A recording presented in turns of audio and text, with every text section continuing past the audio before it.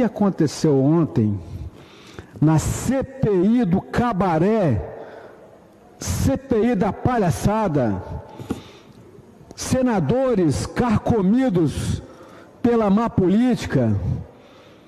Não sei se vocês lembram desse senador de Araque que teve a mulher presa lá porque roubou o dinheiro da saúde, esse tal de Omar Aziz, esse tal de Renan Calheiros, cheio de processo também por corrupção, tudo bandido.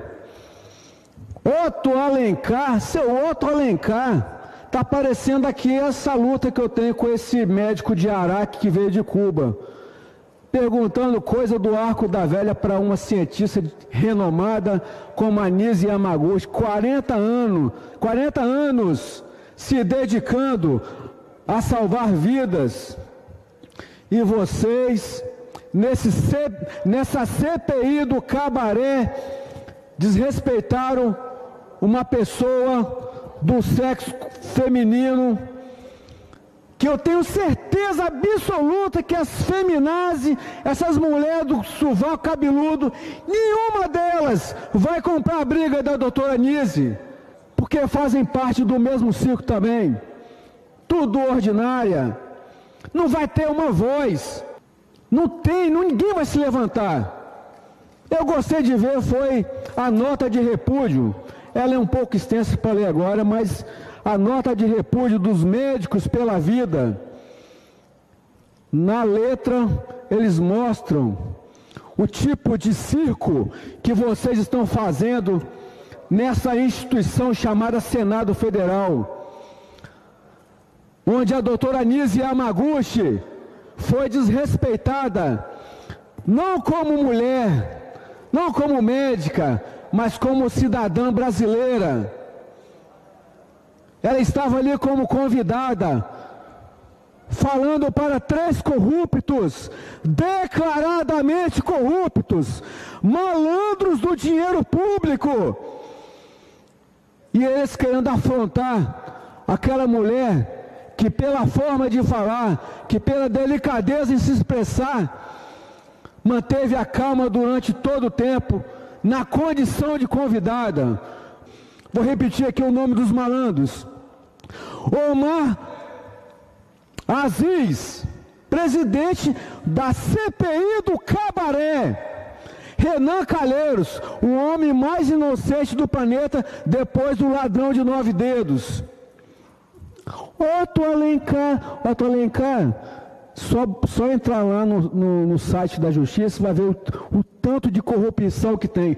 O cara conseguiu colocar para dentro da corrupção que era só dele, colocar mulher, colocar filho, todo mundo, para roubar dinheiro da saúde. O povo da terra dele conhece esse malandro. CPI para destilar ódio. É a segunda vez que eles atacam as mulheres e não tem uma manifestação das feminazes.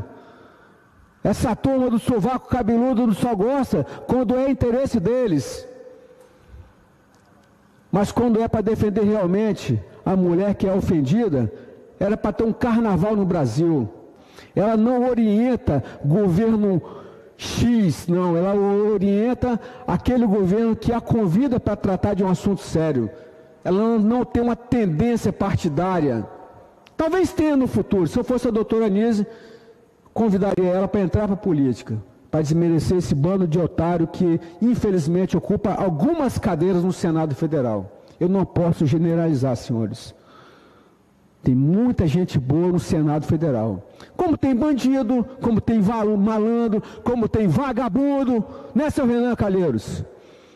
Parabenizo os médicos pela vida que emitiram uma nota de repúdio à CPI do Cabaré e também faço coro à manifestação do deputado Dr. Hércules, que, que pede para que também haja uma nota de repúdio do Conselho Regional de Medicina e que também haja uma manifestação, uma nota de repúdio por parte da, do Conselho Federal de Medicina. Isso não pode ficar barato.